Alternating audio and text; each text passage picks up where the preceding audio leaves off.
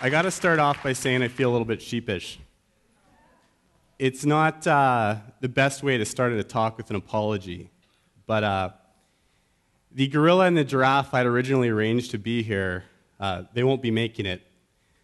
What happened was when they were coming up over the border, the uh, crossing officer got a little bit insulted with the giraffe. He felt that he was uh, looking down on him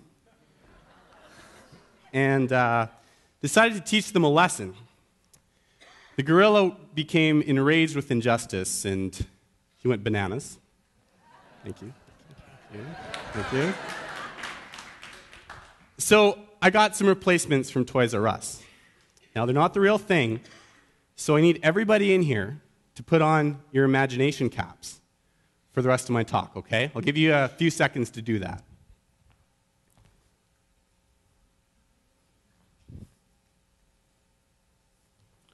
All right, are they on? Are they on? Okay, perfect. I want you to divert your attention away from the very elegant, very tall Jeffrey the giraffe and the thousand pound gorilla in the room, George the gorilla. And I want you to focus on this similarity between Jeffrey, George, and Diane. And that is that we all live here. They all live here. There's a gorilla, a giraffe, and Diane that all live on this planet. Now, the difference is, and this is what I want you to focus on, the difference is that if I asked Jeffrey or George to come up on stage with me and to create a piece of art, to capture the experience that we're sharing together and the energy in the room, they wouldn't know what to do. And the reason is because Jeffrey is a giraffe and George is a gorilla. But when I asked Diane to do the same thing, and I told her about my idea, she was inspired and she knew what to do. I left home uh, to attend university after finishing high school. That was about 12 years ago, and now I'm in the last few months of my medical education to become a medical oncologist.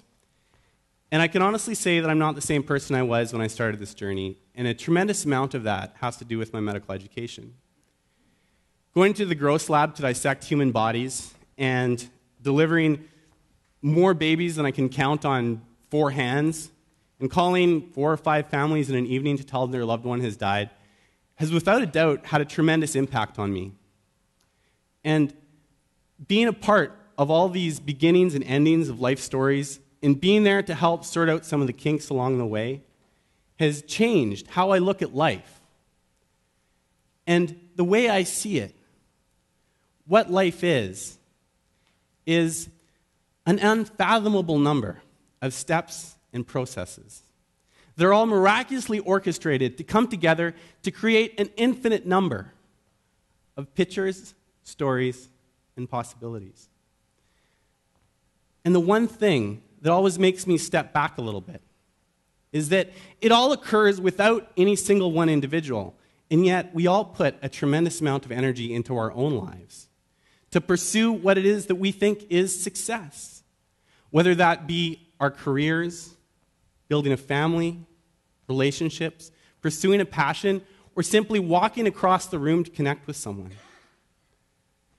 even with all of my education, I can honestly say I am more in awe of what this thing is than ever before. About two years ago, I began the medical oncology portion of my training. And it seemed like there was a part during clinic over a couple months where I was only seeing two kinds of patients. There was one group that was about my age, 20s in early 30s. And there was another group that was just about re- to retire. And what these two groups had in common was that both were at the very beginning of a new journey in their life. The younger group were just beginning to start careers and families and to explore what it meant to be independent adults with all the possibilities that life has to offer. And the older group were finishing successful careers. Their families were becoming independent. And they were getting to the point where they were ready to reward themselves with a whole new set of possibilities. And they were in clinic. And they were being told that they were, had a disease that, in many cases, would be fatal.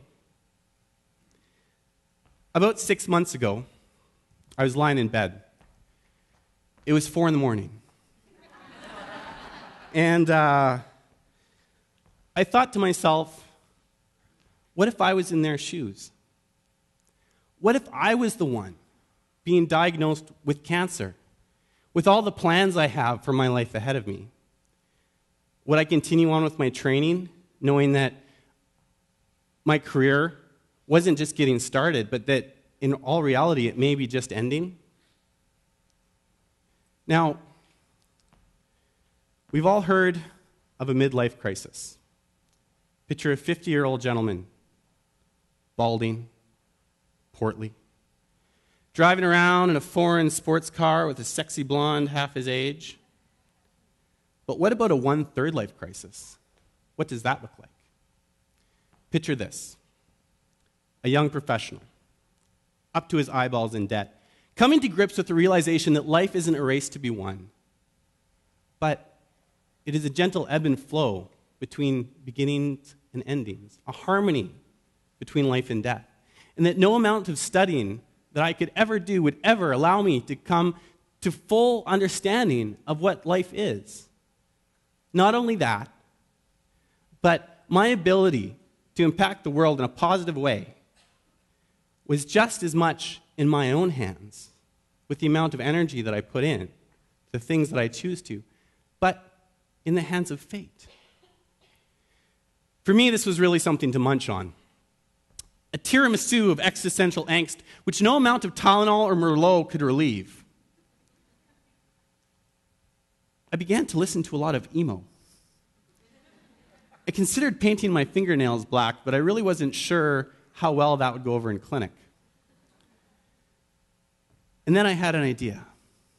It came to me in a dream crack cocaine! just kidding.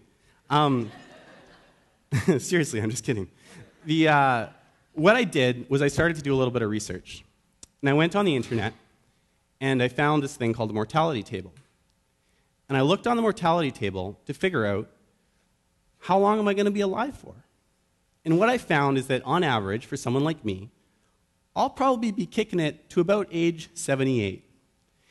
And I kind of knew that. I kind of knew that that's kind of what I was looking at. But the thing that was really cemented by looking at the mortality table was that the probability of dying in any single given year is not zero. In fact, there is a slim but real chance that I may have already had my last birthday. And with this realization, my one third life crisis began to resolve. Let me show you how I did it using the magical and mysterious powers of felt. Okay. So, The circle represents the amount of time I have to be alive.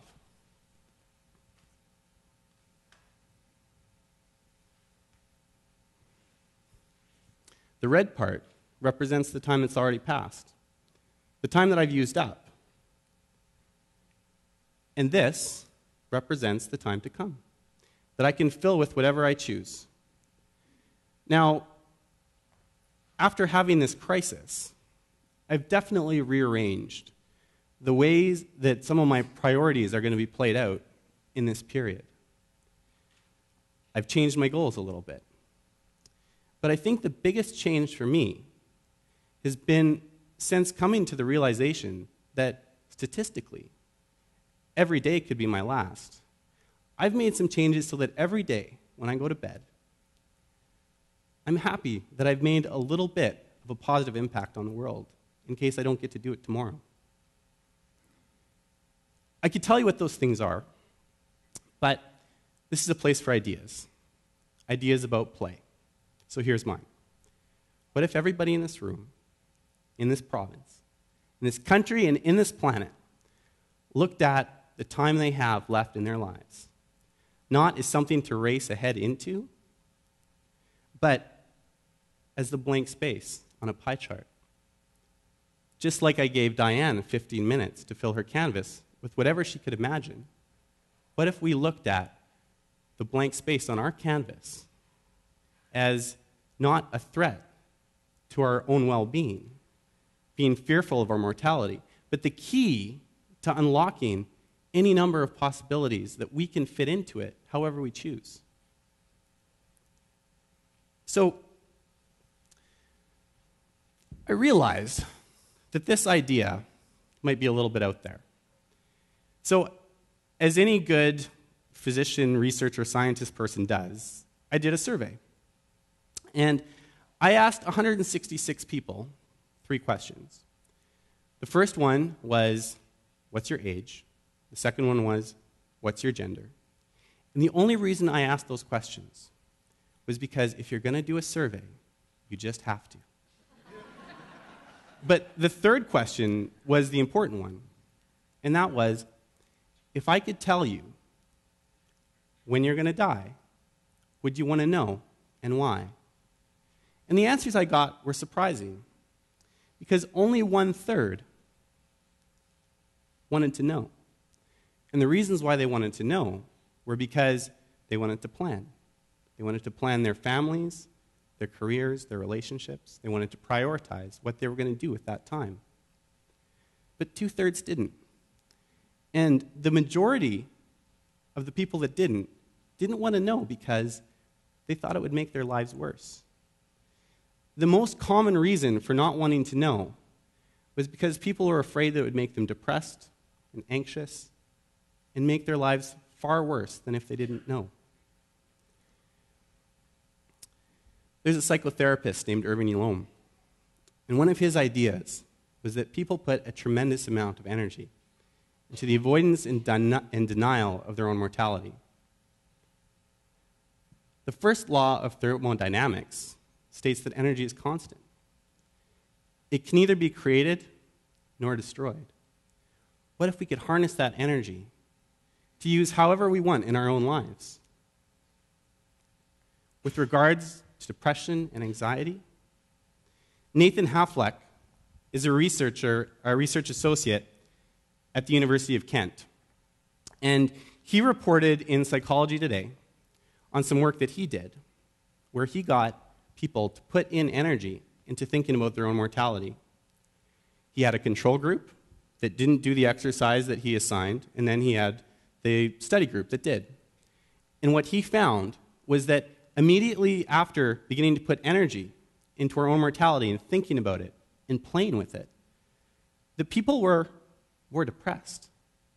But then what he found is that compared to a control group, a week after the exercise began, the people were less depressed. Not only that, but they were more motivated by self growth, relationships, and helping others. All right, are your imagination caps still on? Yes? Okay, good. Just wanted to check. So, I need you all to close your eyes for a second, okay? Everyone's eyes closed? Okay, cool. When I think of the word play, my favorite definition is this that which is freely chosen, personally directed, and intrinsically motivated. From my survey, it appears that our society may have a considerable amount of energy tied up in avoiding our own mortality. What if we could take that energy and use it for anything that we wanted? From Nathan Heflick's work, it's suggested that when people think about their own mortality, they freely choose. They're personally directed and intrinsically motivated by relationships, by self growth, and by helping others. This is where you really got to use your imagination caps. What if this was how the whole world played? You guys can open your eyes. Okay. So I didn't bring Diane up here just because I wanted an assistant, although it has been fun. I brought her up here because I wanted to show to you guys how easy it is to transform energy. What Diane has done with the time that we've spent together, the energy that we've put into this talk, into the ideas, and the atmosphere in this room, has been saved in this canvas. And what we're going to do with it is we're going to take it outside and we're going to set it up for a silent auction. The proceeds are going to go to Winnipeg Harvest so that some of our energy can go towards helping fellow Winnipeggers put a little bit less energy into thinking about where their next meal is coming from and a little bit more into thinking about how to play. Thank you so much.